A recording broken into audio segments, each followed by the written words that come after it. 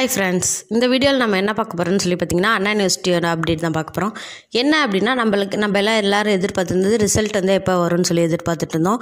இதை பற்றின ஒரு இன்ஃபர்மேஷன் கிடச்சிருக்கு எப்போ அப்படின்னா மார்ச் இருபத்தி ஒம்போதாம் தேதி வந்துட்டு ரிசல்ட் வந்து பப்ளிஷ் பண்ண போகிறதா சொல்லியிருக்காங்க. என்ன ரீசன் அப்படின்னு சொல்லி பார்த்தோம்னா இருபத்தி ஒன்பதாவது ஏதாவது மார்ச்சுக்குள்ளே வந்துட்டு எக்ஸாம் ரிசல்ட் வந்து பப்ளிஷ் பண்ணால் தான் அவங்களுக்கு அரியரோ இல்லை வேறு ஏதாவது ரீசன் இருந்ததுன்னா அவங்க வந்துட்டு அந்த எக்ஸாமை வந்துட்டு இந்த மந்தில் ஏப்ரலில் நடக்க போகிற எக்ஸாமில் வந்துட்டு அவங்க வந்து கண்டினியூ பண்ணி எழுத முடியும் அப்படிங்கிற காரணத்தினால வந்துட்டு மார்ச்லேயே வந்துட்டு ரிசல்ட் வந்து பப்ளிஷ் பண்ண போகிறதா இன்ஃபர்மேஷன் வந்து வந்திருக்கு. இதை தொடர்ந்து பார்த்தோன்னா ஏற்கனவே நம்ம மெயில் வந்து அனுப்பியிருந்தாங்க. யாருக்கு அப்படின்னா எக்ஸாமில் வந்து மால் ப்ராக்டிஸில் ஈடுபட்டவங்களுக்கு வந்து மெயில் அனுப்பியிருந்தாங்க.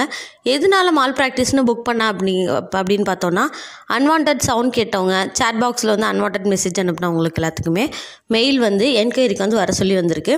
இந்த என்கொயரியில் வந்துட்டு ஸ்டூடெண்ட்ஸ் கிட்டேருந்து சரியான ரீசன் இருந்துச்சு அப்படின்னா அவங்களோட ரிசல்ட் வந்து பப்ளிஷ் பண்ணுறதுக்கு எந்த ஒரு தடையுமே இருக்காது. ஒருவேளை ஸ்டூடெண்ட்ஸ் சொல்கிற எக்ஸ்ப்ளனேஷன் வந்துட்டு அவங்களால அக்செப்ட் பண்ண முடியல அப்படிங்கிற காரணமாக இருந்துச்சு அப்படின்னா அவங்களுக்கு வந்துட்டு அந்த எக்ஸாம் ரிசல்ட்டை வந்துட்டு ஹோல்ட் பண்ணி வைக்கவோ அப்படி இல்லை அப்படின்னா அரியர்னு இன்டிமேட் பண்ணவோ வாய்ப்பு அதிகமாக இருக்குது ஸ்டூடெண்ட்ஸ்கிட்ட வந்து சரியான ரீசன் இருந்துச்சு அப்படின்னா நீங்கள் எக்ஸ்பிளைன் பண்ணுறதுக்கு பயப்படாதீங்க. உங்களோட ரீசனை வந்து சொல்லுங்கள் இதனால தான் இந்த மாதிரி ஆச்சு அப்படிங்கிறத சொல்லுங்கள் இதுக்காக பயப்படணும் அப்படிங்கிற அவசியம்லாம் இல்லை.